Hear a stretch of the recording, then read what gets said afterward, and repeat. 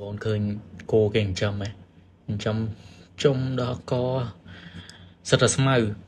ដល់ពេលស្មៅច្រើនអញ្ចឹងគោប្រឡែងចេះ សួស្តីបងប្អូនអរគ្នាតោះយើងធ្វើដំណើរនៅក្នុងស្រុកយើងទេបាទមើលលេងលេងតាមបណ្ដាខេត្តដែលបងប្អូនប្រជាជនខ្មែរទិញគោពីខ្ញុំទៅចិញ្ចឹមណាចូលក្នុងចការគាត់ដែរបងប្អូនហើយ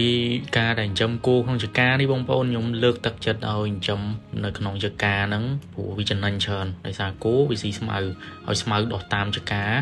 មិនមែនដោះតិចទេបងប្អូនអើយម៉ាយហើយដោះហែង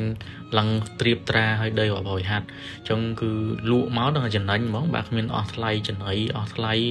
ពលកម្មអីច្រើនទេបាទជួលម្នាក់តែខ្វៀលមកបានណាហើយស្មៅនៅនឹងមានស្រាប់ណាស៊ីទៅហើយគោឡើងសាច់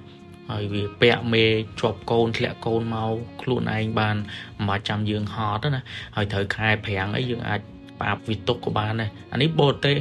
បូតេអ្នកចិញ្ចឹមនេះបងប្អូន គណៈដីគេធំធំបើដីខ្មែរយើងពីច្រើនឃើញគេចិញ្ចឹមអញ្ចឹងដែរមិនស្មៅគេមិនទាន់ដោះល្អបែបហ្នឹងទេ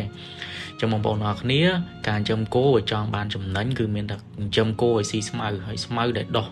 នៅក្នុងដីរបស់យើងណាព្រោះយើងទិញចំណីគេគឺចំមិនសូវបានចំណេញទេហើយណាមួយគូធ្លាក់ថ្លៃចេះគឺយើងមិនសូវបានផលទេ